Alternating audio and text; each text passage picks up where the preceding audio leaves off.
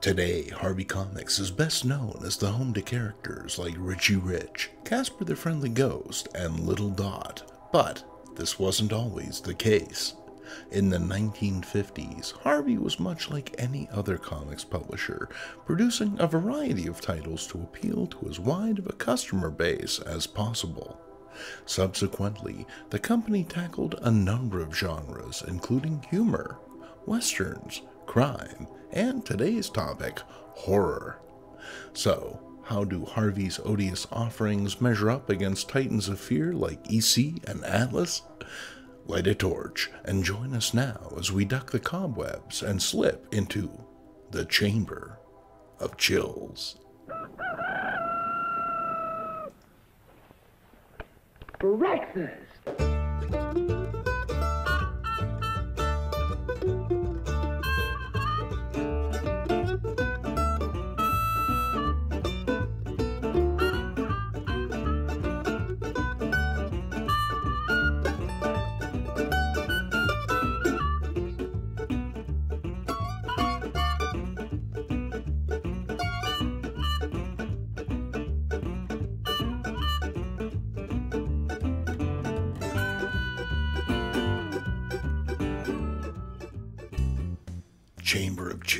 Was an anthology title published by Harvey from June 1951 to December of 1954.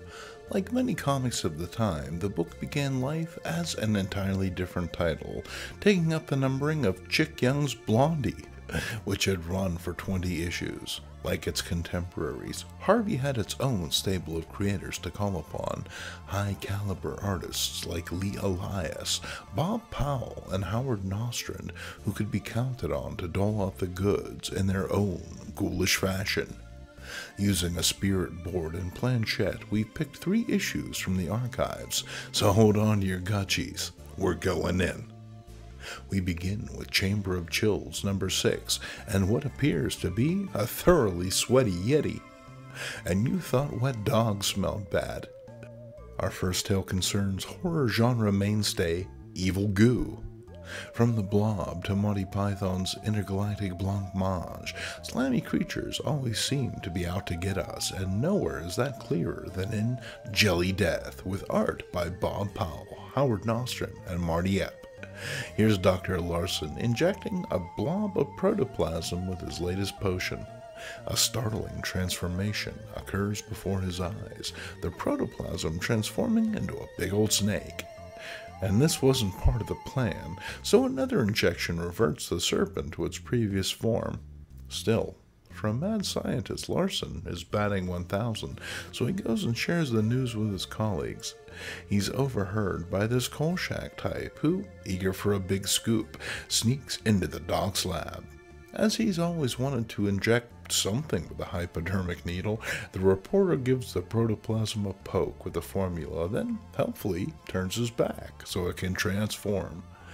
Taking on the form of a massive arachnid, the protoplasm strikes, attacking the unbelieving reporter.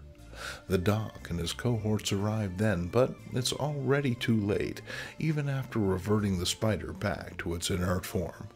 The others turn on Larson, accusing him of creating a monster to overthrow mankind. And then the cops appear, leaving a frightened Larson with no choice but to escape with his creation. And hey, looks like the protoplasm no longer needs the serum to come to life, assuming a roughly human guise to turn on its creator. Larson stabs the beast with the hypo but dies before he can depress the plunger, leaving the needle sticking out of the gelatinous horror. Its mouth still wet with sweet human blood, the creature goes on a tear, cutting a murderous swath through the town. Luckily, it's not long before the torch wielding posse shows up to make things right, stalking the Jelly Death to a nearby graveyard. Frightened of the search party, the monster inadvertently backs into a headstone, injecting itself with the doctor's serum. And, irony of ironies, he did it against the murder reporter's own headstone. Wow, that's some turnaround. Murdered and in the ground with a headstone in less than a day? This town takes internment very seriously. Next up, a frat invitation goes horribly awry in Black Knights of Evil, with art by Joe Certa. In a small New England college whose campus stretches to the beginning of a dark and eerie forest, there exists a secret order the riders of the night consider pledge Chauncey Ashworth's plea for admission. The riders decide to wind the guy up with a scare, making plans to meet him down at the Devil's Well at midnight sharp. Ever punctual, Chauncey arrives at the appointed hour and is greeted by a hooded specter who leads him to the Devil's Well. Entering a shadowed hut, Chauncey is told to bare his soul so that Satan might enter him. What? No kiss first? The initiate will be judged worthy to join by a spirit the group then set out to manifest, but the whole thing goes sideways when said spirit actually appears. The crimson skinned skull demon wastes no time in brutalizing the riders with his replica Bat Knight souvenir from Wrigley Field. Chauncey, already on shaky mental ground, loses it as his classmates are murdered and tossed into the devil's well.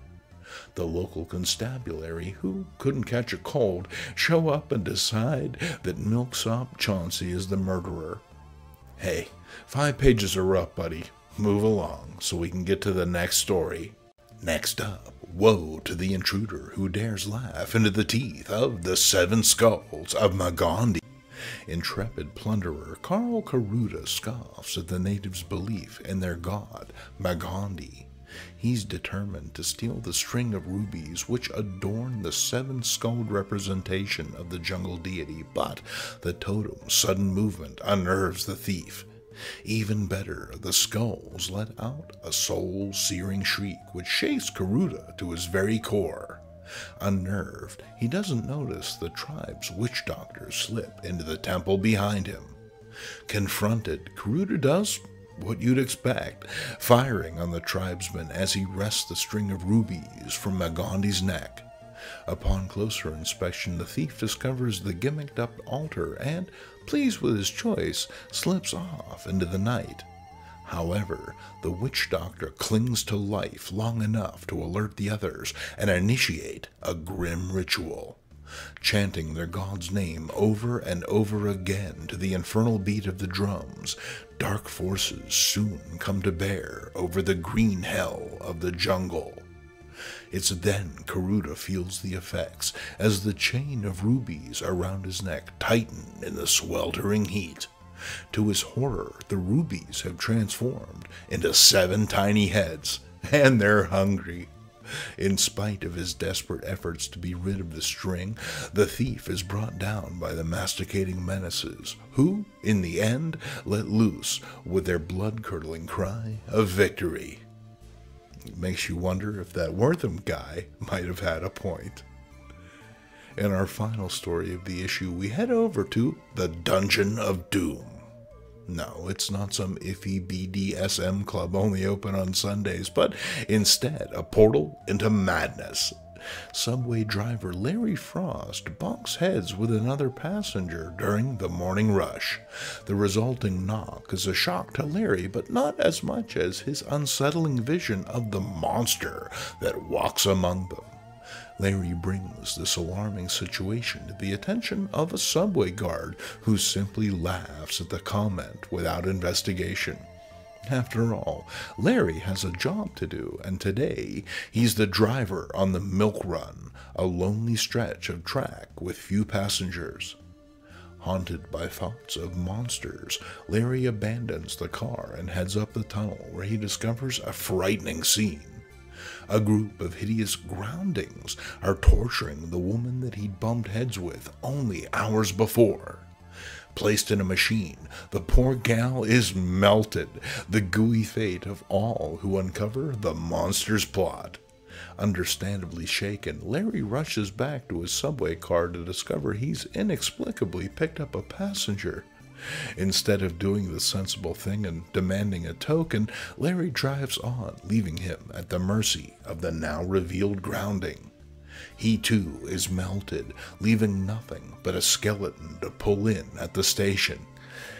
Well, hey, at least he got to keep his hat. Our second scarifying issue is Chamber of Chills number 15, and boom, we're right back into the goo. Unlike pesky copywritten properties and concepts, goo was pretty much any man's game, and Harvey leaned into it with a vengeance.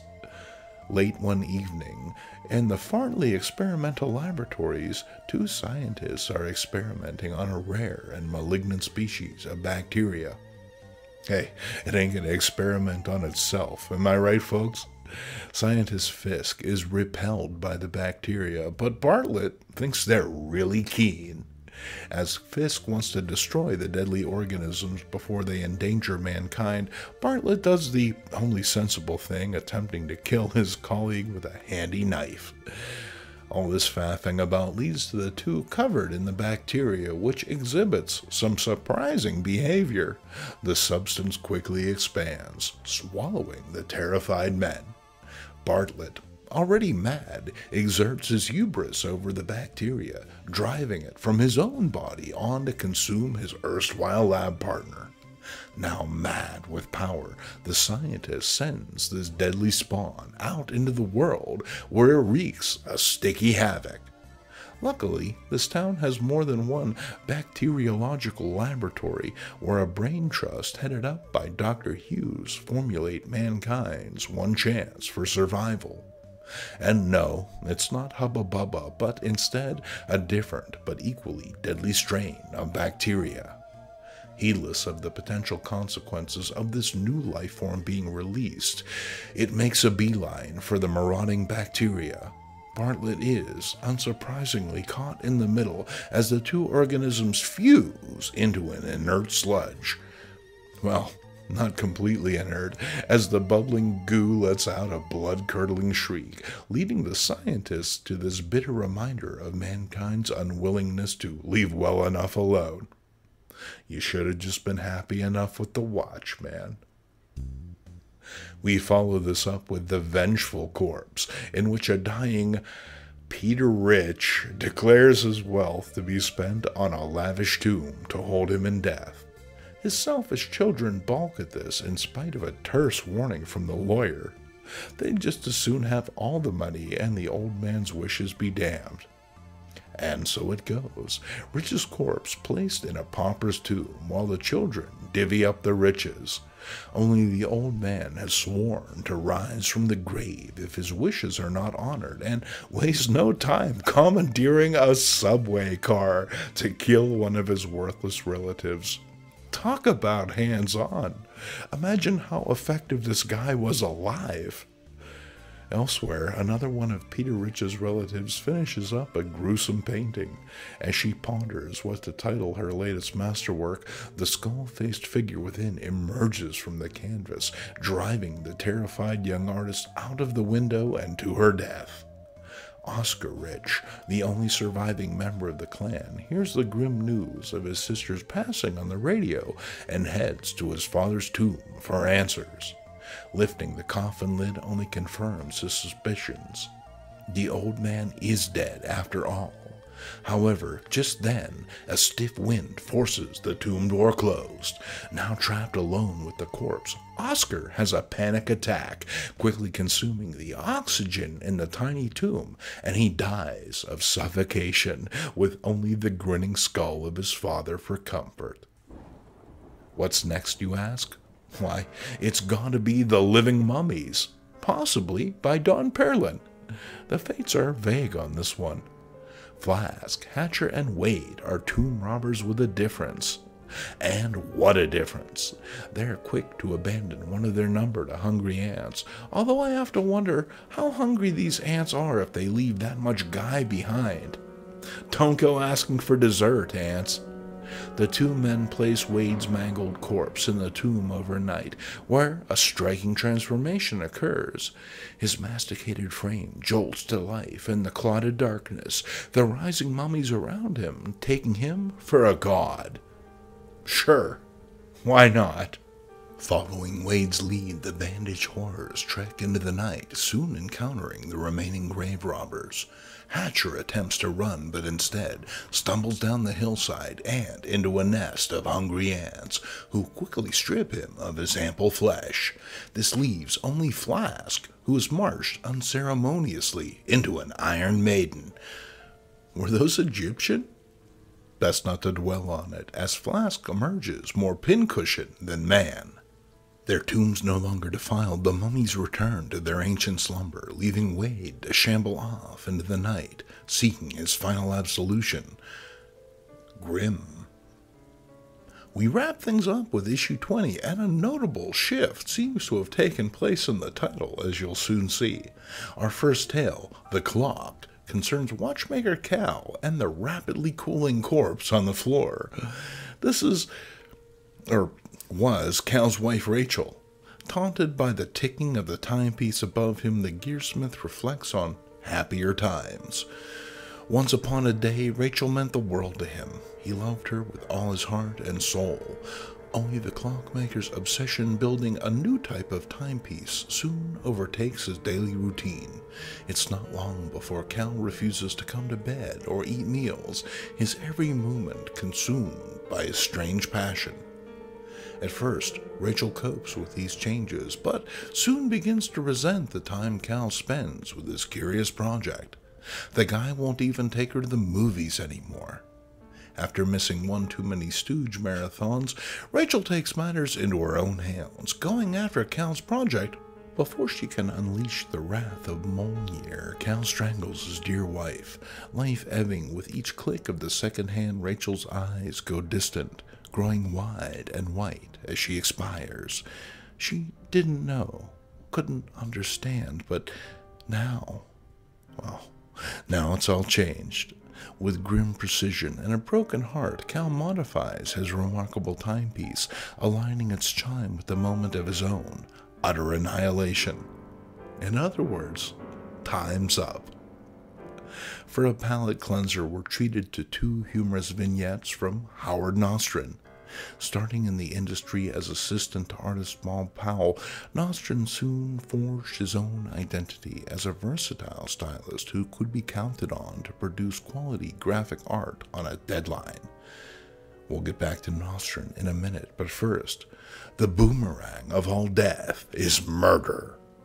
Sounds like someone wanted to be Raymond Chandler. Joe Edgett and Wally Payanon are partners in something. It's never really made clear what. Anyway, Joe wants to kill Wally, and with good reason.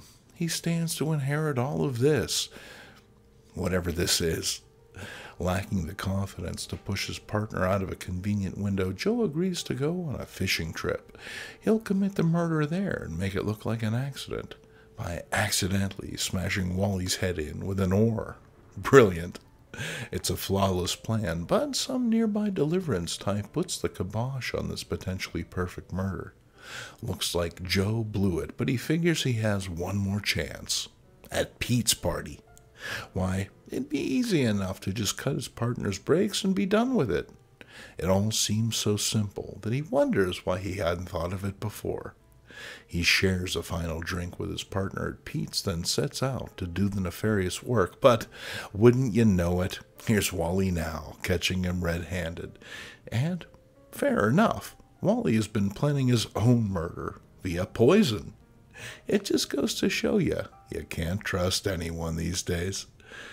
Dark horror shifts to grim humor as we visit the hoard like home of Teddy Cummins in the Howard Nostrand illustrated tale Lay That Pistol Down. 11 Vandernook Avenue is a very exclusive address belonging to a somewhat eccentric owner. But Teddy Cummins is harmless enough. He just likes to be left alone. Here he is now in the vast confines of his cellar, surrounded by the musty abundance he considers important. Some might say it's trash, but Teddy only plucks the finest treasures from the city's most aristocratic garbage cans.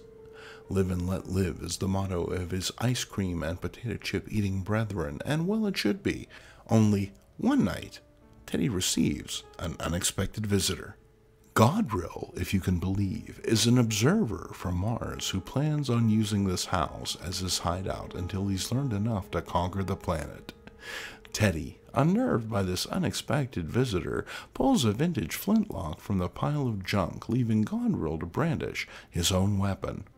Only the whole thing is a feint. Teddy's piece, a harmless cigarette lighter, leading Godrill to believe that he's bested his captive. But Teddy isn't so easily taken, drawing another pistol on his foe. A fountain of water momentarily disorients his enemy until Teddy can draw a shotgun behind a pile of debris. And surprise! It's just another toy, unraveling an American flag. Godrill changes his stance then. In spite of his resistance, it's clear this old man is of no consequence to his plans of world domination. Why, even the ridiculous atomic pistol he now brandishes is an object of amusement to the Martian who has a good laugh until he's consumed in a corona of red hot fire. Turns out Teddy isn't just a harmless kook. He's part of an advanced force of Venusians who plan on claiming this junk pile for their very own. It only goes to show you don't mess with a hoarder. We conclude this epidermis crawling episode with a little something called End of the Line. It's date night for George and Clara, all abuzz over an exciting evening out with pals Emily and her husband. They share the subway car with this dapper fellow, who has a curious look on his face. Clara expresses her concern that the gent is trying to flirt with her, setting short fused George right off.